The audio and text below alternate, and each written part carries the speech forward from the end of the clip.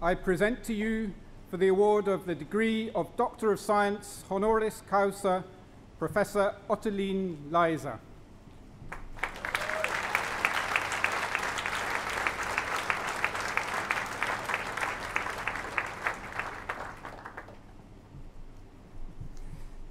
Since 2013, Professor Leyser has been director of the Sainsbury Laboratory at the University of Cambridge, a post, she holds alongside her Professorship of Plant Development and a fellowship at Clare College.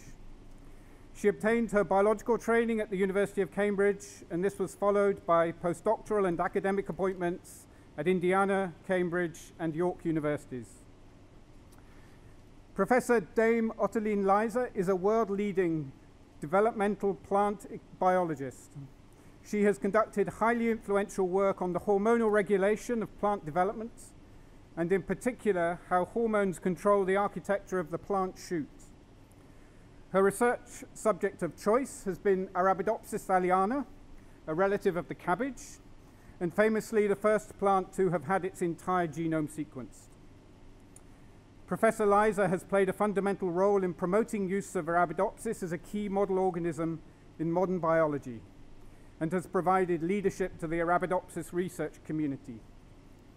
In recognition of this role, she is currently chair of the British Society for Developmental Biology and has served as editor-in-chief of several of the leading journals in the field. Professor Leyser's distinctions have been recognized by numerous honors, she received the President's Medal of the Society of Experimental Biology in 2000, the Royal Society's Rosalind Franklin Award in 2007, the Silver Medal from the International Plant Growth Substance Association in 2010, and the UK Genetics Society Medal in 2016. She was appointed a Dame Commander of the Order of the British Empire in the 2017 New Year's Honours List. She is a Fellow of the Royal Society, a Foreign Associate of the US National Academy of Sciences, and a member of the European Molecular Biology Organization and of the German Academy of Sciences, Leopoldina.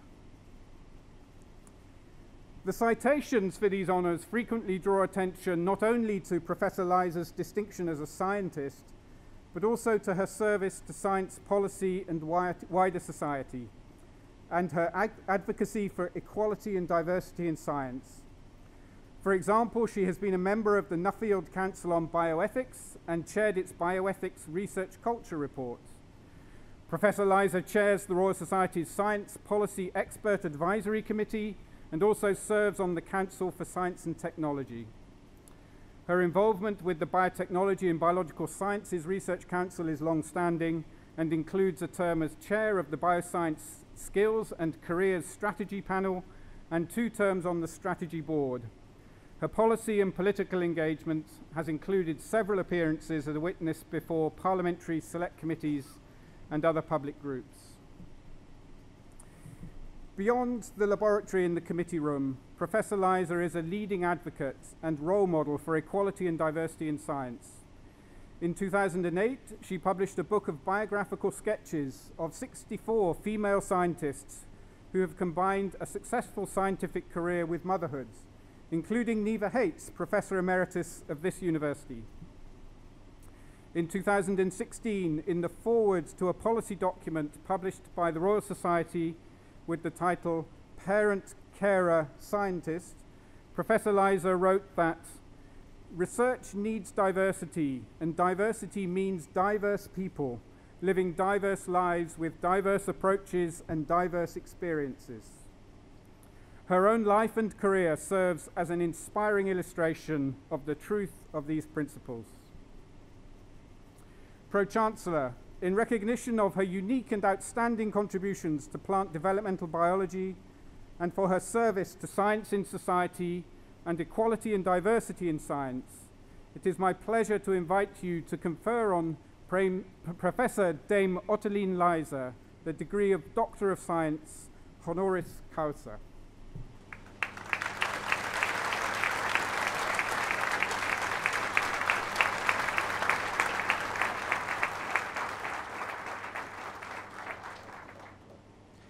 Ego te scientiae doctorem magistrum constituo creo proclama renuntio et insignum caput tuum hoc pileo orno quod ut felix fastunque sit, deum optimum maximum precor.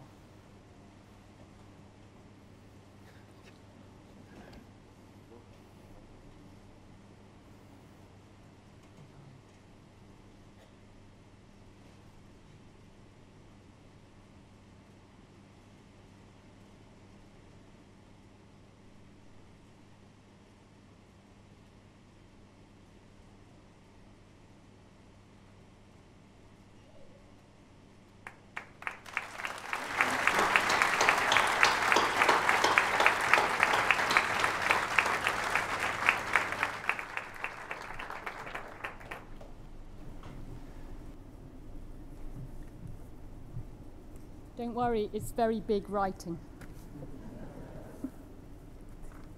so first of all, I'd like to move the microphones because, as usual, they're too high up for me. Second of all, I would like to thank everybody here for this wonderful honor of an honorary doctorate. It's um, really a, an honor and a pleasure to receive it, and particularly so to be able to share um, vicariously with all of you in your amazing successes and um, triumphs as you graduate today. And I would like to add my congratulations to no doubt the many congratulations you have and, and will receive on your um, hard earned degrees. I think these kinds of ceremonies, they're always a wonderful thing. They're a kind of milestone that mark one set of achievements, but also mark the beginning of the very next things that you're planning to do. And whatever it is that you're planning to do, I hope very much that you find the things that you've done at university to be useful and, and valuable in, in, as you move forward. And it's easy to think about that in the first instance in, in the context of what you've learned, in the knowledge that you've acquired on your various degree programs. But actually, I think the knowledge itself is, is really almost, almost the least of it. It'll be important, I'm sure it'll be useful, but just that knowledge is really not enough. What you need is the knowledge, but also, hopefully, in your studies, you've learned something about how that knowledge fits in to the bigger picture. You've learned its strengths and its weaknesses. You've learned the evidence that underpins that knowledge, and therefore the power of that knowledge, but also its limitations. And through all this, you've learned, I hope, how to use that knowledge wisely.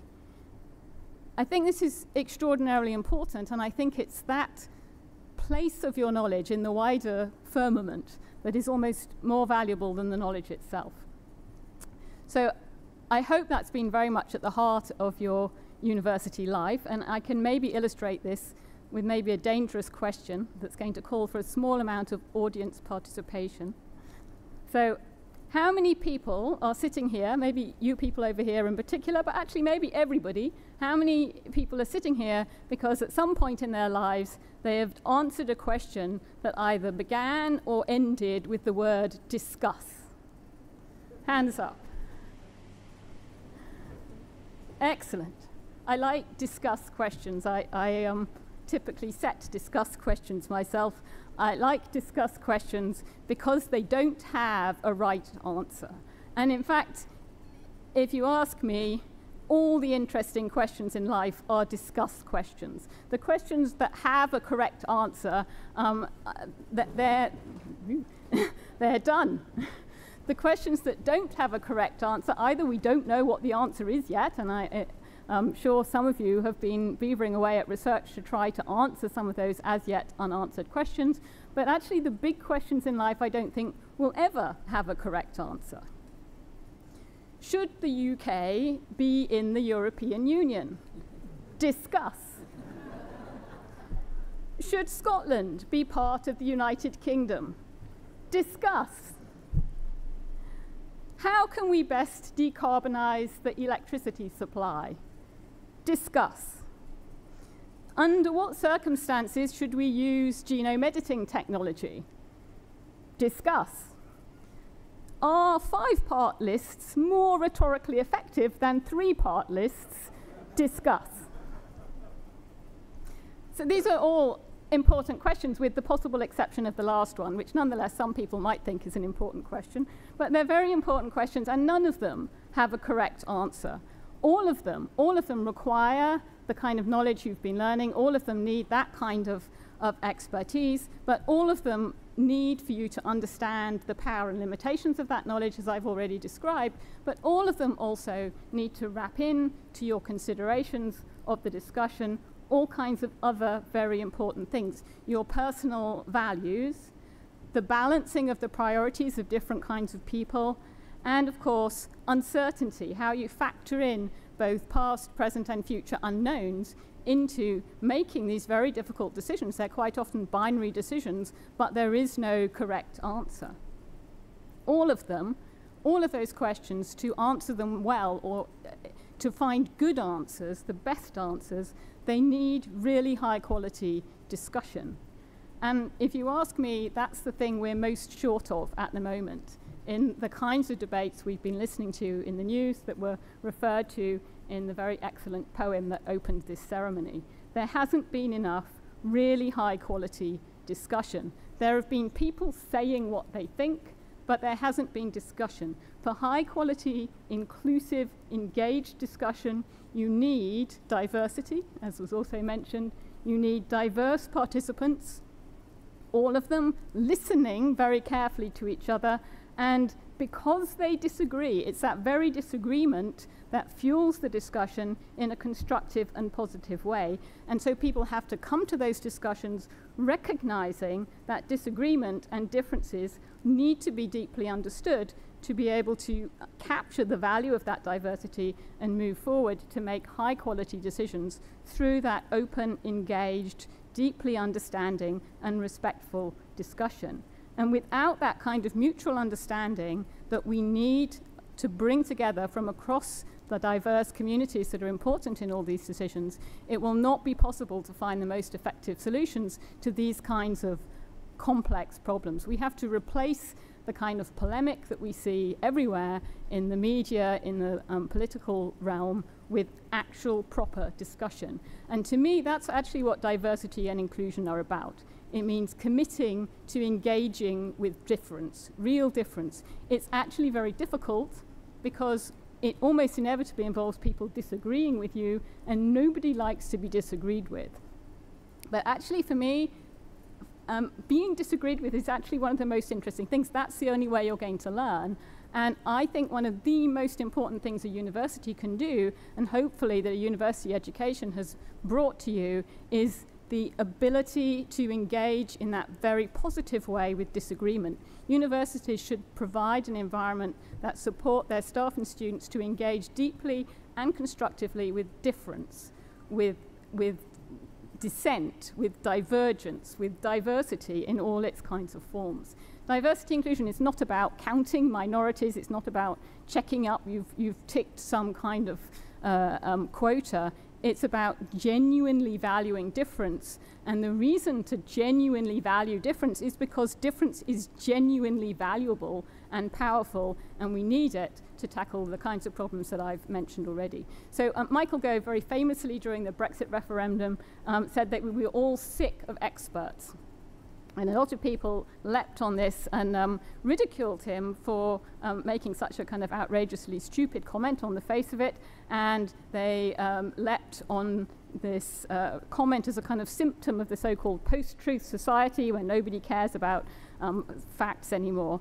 Uh, and those who are perhaps more sympathetic to his views on Brexit um, pointed out that actually he wasn't really uh, being quoted very uh, accurately by just saying he was sick of experts, because what he actually said was he was sick of experts saying that they know what's best.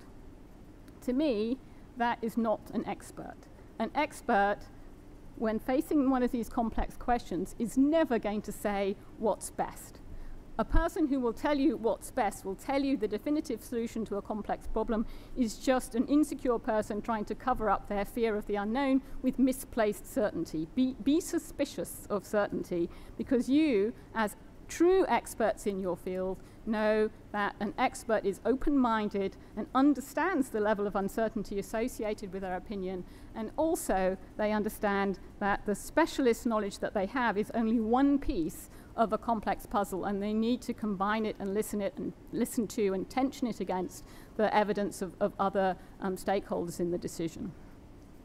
So in the Brexit debate, in my opinion, there have not been enough experts of that sort who were truly listening. Opinions were stated, but they were not discussed.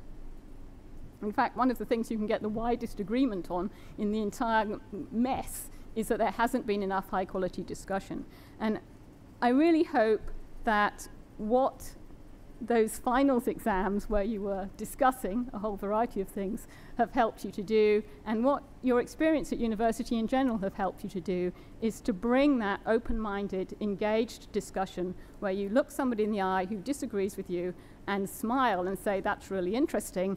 Please explain to me more what you mean by that because I disagree. And that's an interesting point of starting for a high quality engaged discussion. So I'd like to congratulate you again on your wonderful achievements, and I hope very much that you have wonderful futures full of engaged and constructive discussion. Thank you very much.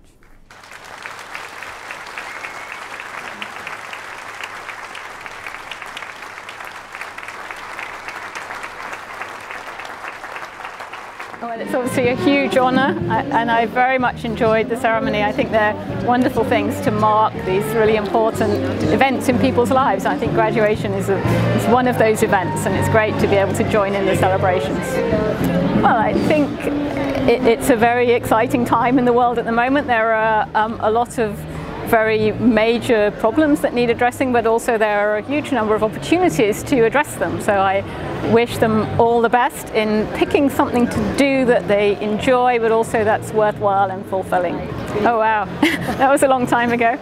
I really enjoyed my undergraduate um, course. It, it, was just full of very exciting, interesting people and very exciting, interesting science. And I, I, I when people ask me about my career, I quite often say that I went to university and I never left, which is essentially true. And it's been wonderful having the opportunity to work with so many interesting people over the years.